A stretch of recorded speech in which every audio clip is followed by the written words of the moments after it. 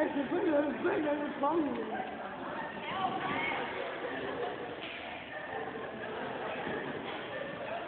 Yardıma aç koysun.